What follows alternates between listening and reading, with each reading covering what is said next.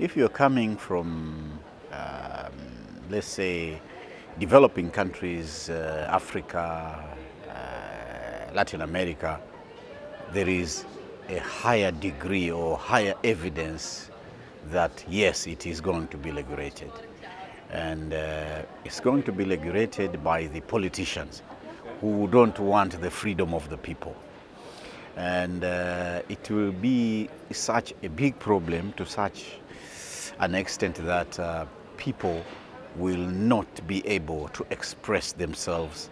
They will not be able to communicate themselves. Uh, they will not even be able to learn various um, lessons or training that are available from the internet.